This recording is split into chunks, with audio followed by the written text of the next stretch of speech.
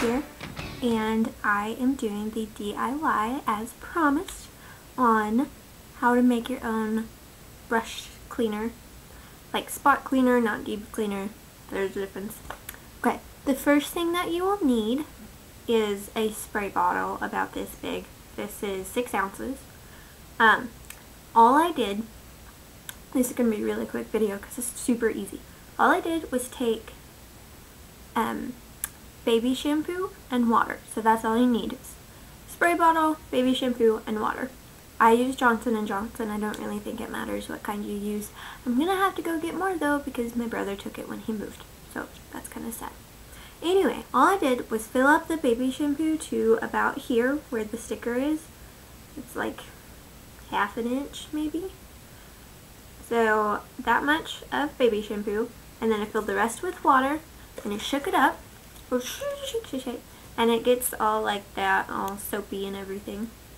You probably want to shake it every time you use it so it doesn't like separate. Okay. Then I'm going to show you that it, how that it works and how it works. All I do here I'll use this one. I'll use some different types. So first I have this one. You can see, it's kind of, um, I used it on my bottom, right there. So, it has some eyeshadow on it, that's what it's called.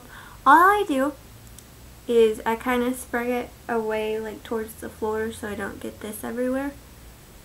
I spray it just on the bottom. Here, I'll see if you see. That. I just got it on myself.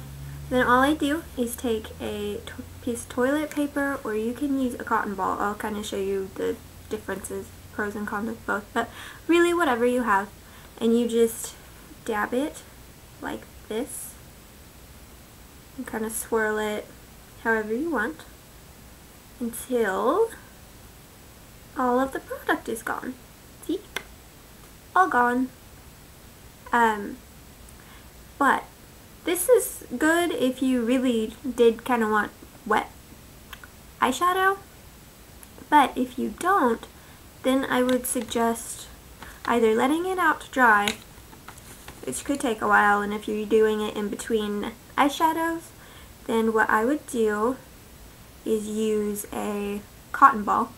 I'll do this one. Um, this one has been left on for a while, so we'll see how that turns out. Mm-hmm.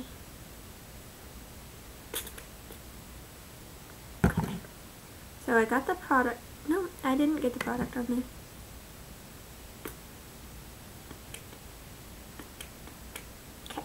So I got the product on there. And then I'm going to use this cotton ball and just do the same thing that we did with the other one till all the product is off.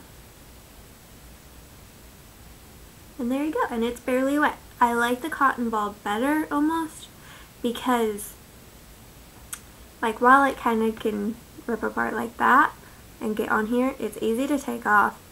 But what I like about it is it dries your brush out much faster. Like it absorbs the water better. So I'll use this one. I use purple on it so you can barely tell that it's has anything on it because it kind of matches the color. spray it. My mom's been using my spray bottle to spray my cat, so I think that's why it's acting kind of funny.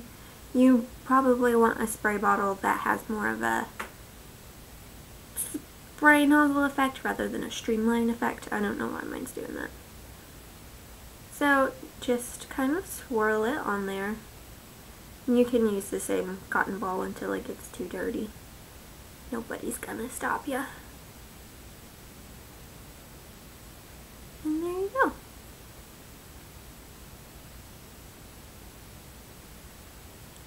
I'm just kind of rubbing it a little bit more just to make it um, absorb the water and make it dry faster. You want to do this until you can't see any more product on your brush or coming off of your brush, either one.